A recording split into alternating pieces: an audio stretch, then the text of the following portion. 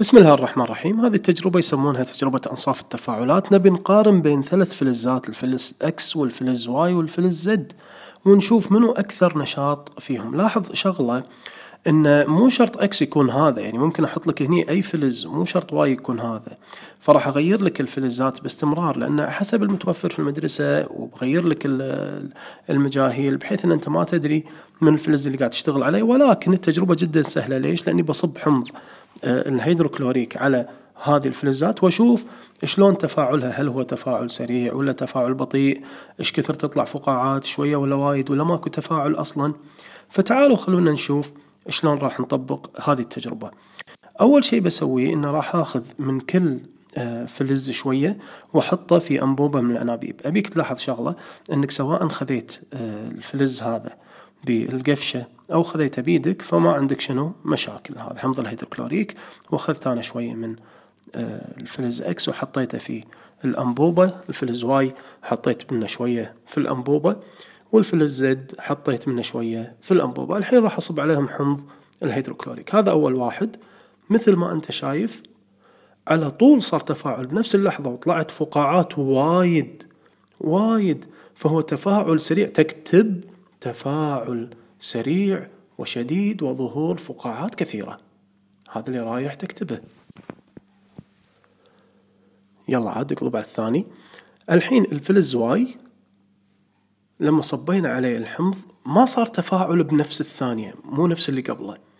لكن لو صبرنا شوي وعطيناه فتشة وقعدنا ندقق ونطالع. راح نكتشف إنه شوي شوي قاعد تظهر فقاعات شوي شوي قاعد تظهر فقاعات. هذه إيد المحضر كذي يمد ايده ما يدري إنه في تصوير الظاهر ما أدري إيش قصته.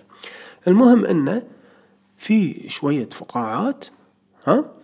وهذه الفقاعات قاعد تزيد باستمرار معناته هناك تفاعل لكن هل التفاعل سريع؟ لا التفاعل بطيء. فالتفاعل آه، بطيء يحدث تفاعل لكنه تفاعل بطيء فراح تكتب أنت بالورقة يحدث تفاعل بطيء وتتصاعد فقاعات مثل ما أنت شايف الحين بينت الفقاعات صح ولا مو صح؟ بينا في شنو؟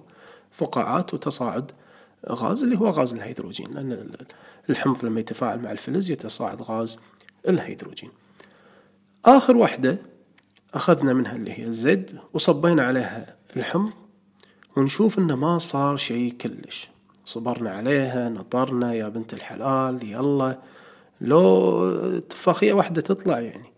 ماكو شيء. تشوف شلون صافي جدا ما في أي فقاعات. إذا في هذه الحالة لا يحدث تفاعل. في هذه الحالة لا يحدث شنو؟ تفاعل.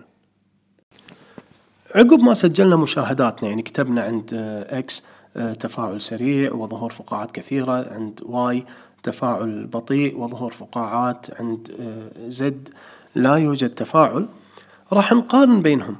منو الأكثر نشاط في هذه الفلزات الثلاثة؟ في التجربة اللي تونا شفناها كان الإكس. طبعا هذا مو شرط يكون دائما هو الحال. يعني عادي يطلع وياك أنت لما تسوي تجربة. يطلع الواي هو أسرع واحد. تفاعل وهو أكثر واحد شنو؟ طلع فقاعات. ففي حالتنا تو الأكثر نشاط هو الإكس. ثم آه، الواي. وأقلهم نشاط كان منه الزد. هذه الفلزات كلها عدد تأكسدها موجب اثنين. بمعنى تفاعل الأكسدة اللي صار لكل هذه الفلزات اللي تو سويناه كان أن الإكس فقد إلكترونين وأصبح إكس موجب اثنين صار كاتيون. والواي نفس الطريقة والزد نفس الطريقة. فلو جيتك أنا وقلت لك يا الحبيب اكتب لي نصف تفاعل الأكسدة مال الإكس تكتب لي هذه. إذا قلت لك اكتب لي نصف تفاعل الأكسدة مال الواي تقول لي كاهو إذا الزد راح تقول لي هذه. يا رب تكونوا استفدتوا والحمد لله رب العالمين.